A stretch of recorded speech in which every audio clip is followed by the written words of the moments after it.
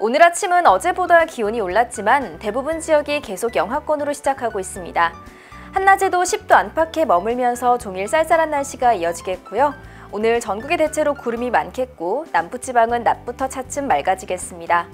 한편 동해안과 일부 남부지방으로는 건조특보가 발효 중이니까요. 화재 사고 나지 않도록 조심해 주시기 바랍니다. 그럼 자세한 오늘 날씨 살펴보시죠. 오늘은 중국 북부지방에서 확장하는 고기압의 가장자리에 들어 전국에 구름이 많겠지만 남부지방은 낮부터 대체로 맑겠습니다.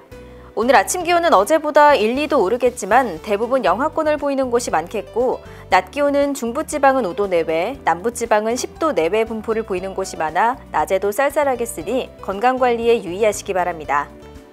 건조특보가 발효 중인 강원 영동과 경상 해안, 일부 경상 내륙과 전남 동부는 대기가 매우 건조하겠고 그 밖의 지역에서도 대기가 차차 건조해지겠으니 산불 등 각종 화재 예방에 각별히 유의하시기 바랍니다. 전해상 대체로 구름 많은 가운데 물결은 0.5에서 2.5m로 비교적 잔잔하겠지만 제주도 남쪽 먼바다는 오후부터 바람이 강하게 불겠고 물결도 최고 3m로 높게 일겠으니 항해나 조업하는 선박은 유의하시기 바랍니다.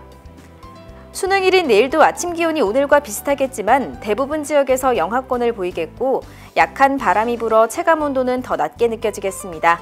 수험생은 체온 유지에 신경 써주시기 바라고요. 당분간 비 소식 없이 대체로 맑은 날이 이어져 대기는 점차 더 건조해질 전망입니다. 아침에는 계속해서 영하권의 추운 날씨가 이어지는 만큼 건강관리에 더욱 유의하시기 바랍니다. 지금까지 웨더뉴스 오늘의 날씨였습니다.